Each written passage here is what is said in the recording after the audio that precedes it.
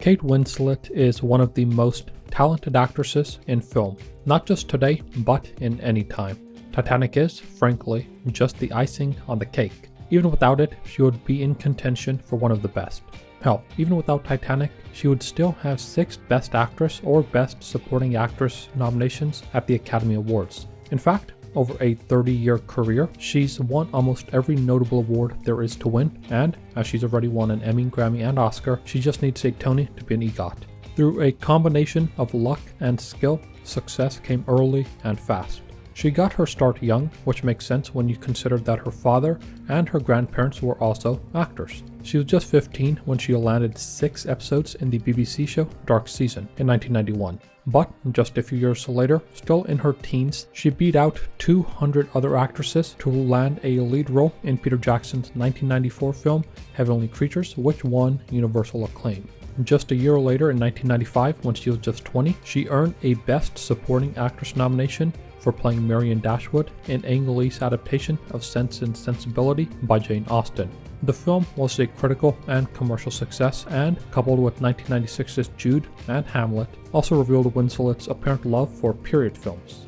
But 1997 would be the year that propelled Winslet to the top of the A-list when she was just 22. She lobbied hard for the role of Rose in James Cameron's masterpiece, Titanic. The filming of the movie deserves its own video, so I'll suffice to say that through a production as epic as its story, which is as epic as what it's based on. Cameron, Winslet, Leonardo DiCaprio, and the rest of the cast and crew made one of the best films of the 90s and certainly the most successful. The movie won critical acclaim, grossed almost $2 billion in its initial run, and created perhaps the most famous romance in film history. Winslet gave everything she had to the role, almost drowning and catching influenza. She made it through to the other side though, and earned a nomination for Best Actress for her troubles, though the award for that year went to Helen Hunt in As Good as It Gets. DiCaprio, meanwhile, wasn't even nominated. After Titanic, Winslet, like DiCaprio, was on top of the world. She could have done any movie or role that she wanted to, but like DiCaprio, she eschewed blockbusters and franchises to focus on indies and mid budget films, saying she wasn't ready to be a star. It was the right move, I think. Whereas other actors and actresses have risen or fallen by the vagaries of their most popular films, Winslet has remained at the top or near the top thanks to the various roles that she's willing to take on. This is best exemplified with her film right after Titanic, 1998's Hideous Kinky, the story of a single mother who moves from London to Morocco. She remained busy after Titanic and besides 2012 has had at least one film release every year since. Many of them were critically acclaimed, and pretty much all of them were small to mid budget indies. In 2000, she was in Quills, another period film, this one about the final years of the Marquis de Sade's incarceration. 2001's Enigma, about the codebreakers at Bletchley Park during World War II. 2001's Iris, which earned Winslet a nomination for Best Supporting Actress. 2004's Eternal Sunshine of the Spotless Mind, where she appeared opposite Jim Carrey and, yet again, earned another nomination for Best Supporting Actress in, yet again, a movie that's considered one of the best films of all time. 2004's Finding Neverland, where she acted opposite Johnny Depp. This was one of her most successful films after Titanic, pulling 117 million against a 25 million dollar budget. In 2006, she was in Little Children, where she played a housewife that has an affair with her married neighbor. 2006's Flushed Away, an animated film that flopped commercially on its $149 million budget, but did well with critics. 2006's commercially successful The Holiday, 2008's The Reader, which finally won Winslet an Academy Award for Best Actress, her first and so far only one. In 2008, she also reunited with Leonardo DiCaprio for Revolutionary Road. Though they kept a tight friendship, the kind that's only forged when you almost drown, they were hesitant about co starring again, knowing it would only bring about comparisons to their most famous movie. That it did, though the movie did get decent reviews.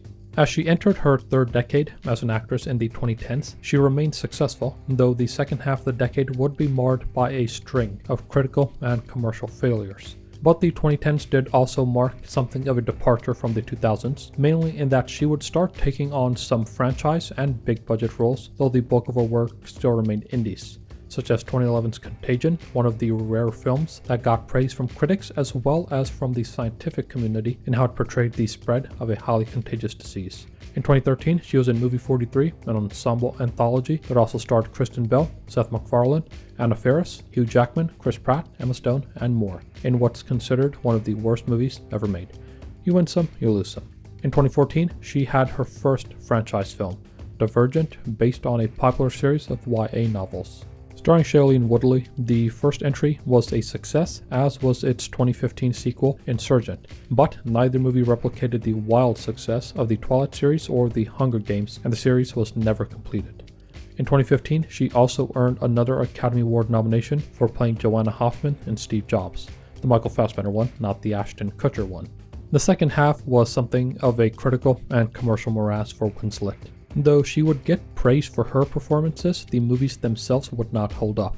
2015's The Dressmaker, 2016's Triple Nine and Collateral Beauty, 2017's The Mountain Between Us and Wonder Wheel, and 2020's Black Beauty were all commercial or critical failures, often both.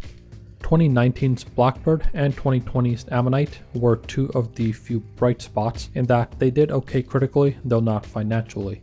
Then in 2022, she reunited with James Cameron for a supporting role in Avatar The Way of Water, which, typical for Cameron, was a resounding critical and commercial success, grossing 2.32 billion at the box office. In 2023, she was in Lee, a critical success about Lee Miller, a fashion model turned fashion photographer turned war correspondent during the Second World War. She'll be starring in HBO's The Regime in 2024, and assuming Cameron sticks to his timeline, will be reprising her role as Ronal in 2025's Avatar 3. Kate Winslet has remained remarkably consistent and active in a three decade long career, and I'm sure she has many more decades to go.